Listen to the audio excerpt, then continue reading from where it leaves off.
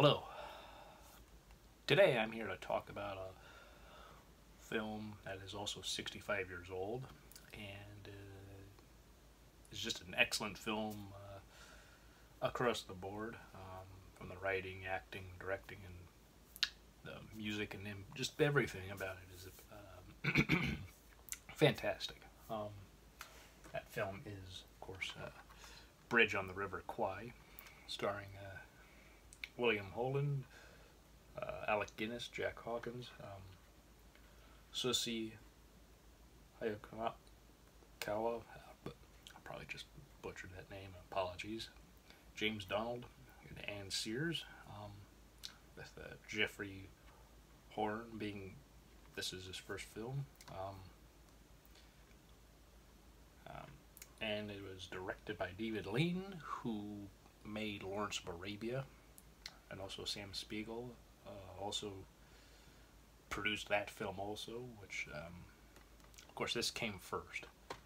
Um, so when Lawrence of Arabia came uh, was released, they advertised it from the people that brought you, you know, Bridge on the River Kwai, and this film won seven Academy Awards, including Best Picture and Director and Best Actor for Alec Guinness. You know, he plays uh, Colonel Nick Nicholson. Um, William Holden plays uh, she uh, she uh, Shears, and he's like supposed to be in the Navy, but you know, as the film goes on, we find out that his ranking isn't as it appears to be, and so there's some sort of a he, he finds himself into a pickle because um, when at the beginning when we see the arrival of Nicholson and his men, well, British of course, um, to this uh, POW camp uh, by the Japanese, um, by Saito, um, get played by Susie Haka, Hakawa. Whom is the only person uh, who was nominated for an Academy Award for this film and did not win. Um, I think he should have won Best Supporting Actor. Um, but, you know, that, that is, you know, the performances are all are just fantastic. Um, there's a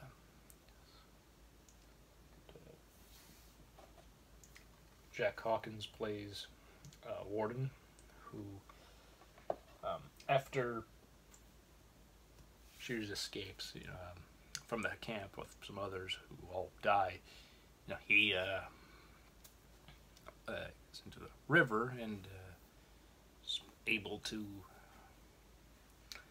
get away and get to safety with the help of uh, native people because um, it's in India where this uh, film takes place. And so the people who are there um, help him, and he's trying to get back to America, but you know he has problems as um, a bridge that um, Colonel Nichols Nicholson uh, uh, begins to have his men build after some time of not uh, playing ball with uh, Colonel uh, Saito because of certain things like the Geneva Convention and other things of like of what is and is not appropriate for war, um, and what like manual labor is not well. But as time goes on, and he's also has obviously some uh, time in the oven, which you know, just basically like a hot box, and uh, he's in there for a good number of days, um, and eventually, you know, he has it to where they're building a bridge because his men were, while they had to build it, they were purposely doing it in a way that will slow things down because you know the bridge is needed to transport people from one camp to another. Uh, like one some people will be able to go to a better uh, facility for like a who need uh, better medical care than they have there. Um, and also people will be able to be brought to that camp. Uh, so that's what the bridge is for. But um, the bridge, unknown to you know, of course, Nicholson, because you know he didn't escape, and he is very much against that. He doesn't think that would do really any good, especially when he hears how people have died um, trying to escape. Um, and he, uh, you know, Nicholson's one of those people who's very sort of by the book uh, uh, military man um, just wants to show that the the Japanese at the bridge can do something like build this bridge so well that they it's like they're gonna have to stop and sort of recognize that, that they did this and um,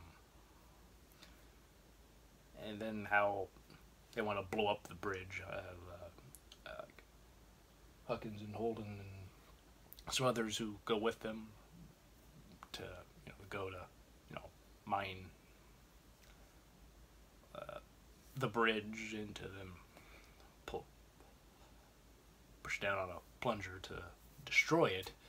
Um, you know, this goes of course unaware until near the end where everything comes to a head and we see the final results of this bridge and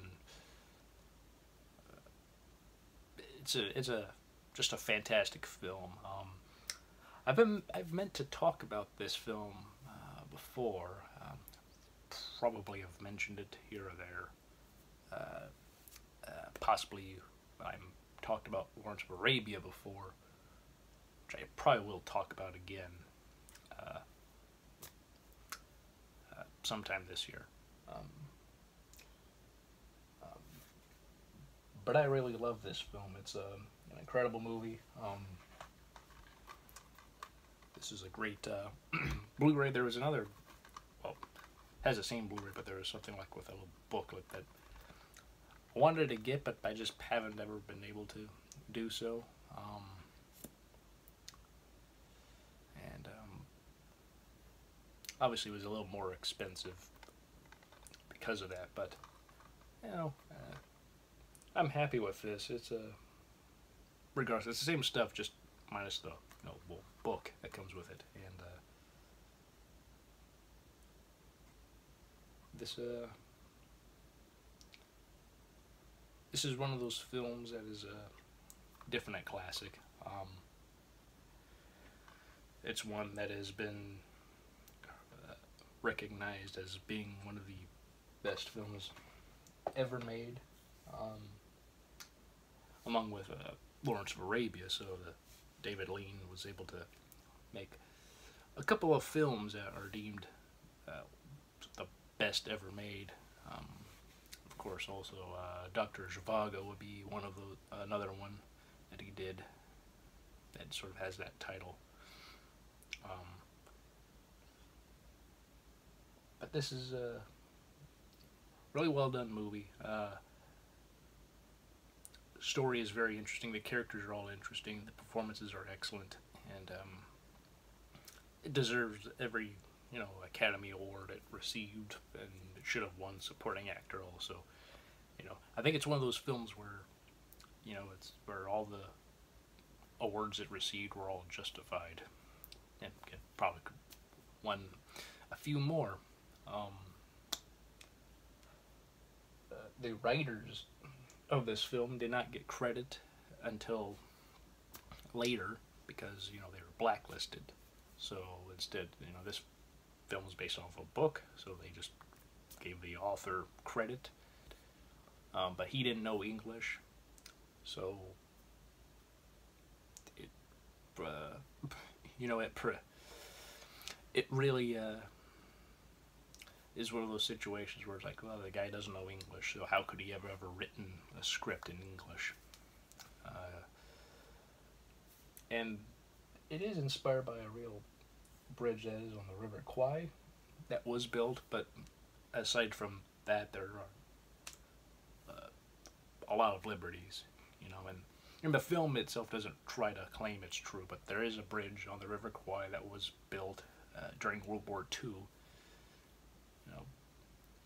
and, all that. So that stuff is like fairly accurate, but uh, like the real guy who inspired Colonel Nichols uh, said how the guy who was inspired uh, Colonel Saito was a very fair man because in the film, you know, Saito seems to be very, you know, you know, not the most uh, upstanding military man in, you know, in Japan, basically. But, uh, but, you know, of course, you know, got to have tension, and so, you know, if you don't make him more of a like a bad guy, uh, the tension isn't going to be as uh, severe as it could be otherwise. And um,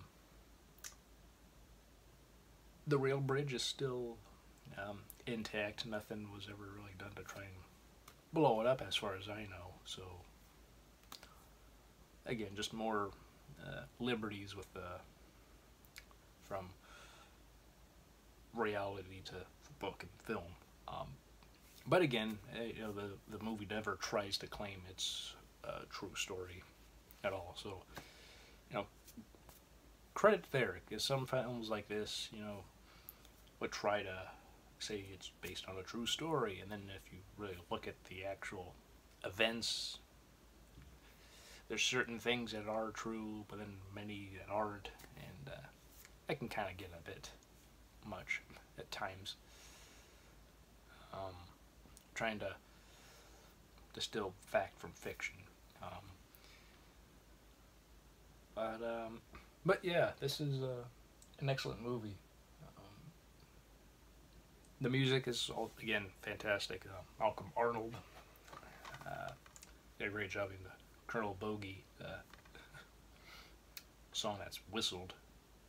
Uh, is very synonymous with this film. You know, it's it, it's it was a more it was always a fairly like a fairly popular tune, and then they tweaked it for World War II with certain uh, leaders uh, that were involved, like Hitler and uh, I believe Himmler was part of it also. and uh, yeah, it's it was very disrespectful, and they turned it into something that was fairly more disrespectful. So, um, but you know, this is a an excellent film. Um, has a, on this Blu-ray has William Holden and Alec Guinness on the Steve Allen Show. Uh, archival audio of William Holden narrating the Bridge on the River Kwai premiere, uh, Crossing the Bridge, picturing graphics track, and um, there's making of, and there's also something with uh, uh, John Milius talking about this film and how uh, he how much he loves it and when he saw it and how he's like a kid and he was just loved it and it was really cool to hear his thoughts on this film. Um, he's a great uh, writer and director in his own right. Um, but yeah, this is a really excellent film. Um, definitely a masterpiece and a classic. And uh, you know, sometimes movies get throw those titles thrown at them, and you look at them and you're like, ah, that's no, not that doesn't deserve that title, but this definitely does. It's well made, well acted, and well, just well made overall. And I could be here for so long just praising it, but you know, a lot of lot has already been said about this film. I don't really have a whole lot more to say, but you know, I really enjoyed watching it. I was probably like 10 or 11 when I saw it um, on TV, and I thought it was really, really good. Uh, you know, uh, it's not as fast paced as like in terms of like typical war films, in terms of like the action and such. It's sort of slow. It's a, at times like it's a fairly slow build to the end. I mean, there are you know people get shot at and people get shot and killed and such. So uh, you know, as is war. So that's all in this film, but you know, it's not like war films today typically where there's a lot of action. Um, you know, that's fairly constant. Um, and I think that's part of the appeal and charm to this film. You know, it was made in a different time, obviously, but you know, a film like that, this probably wouldn't be made uh, much today. Um, not unless the director was somebody who was so well respected, they could make anything they wanted. And if they wanted to make a film that was similar to this in terms of like if it's like a war movie, but things build up,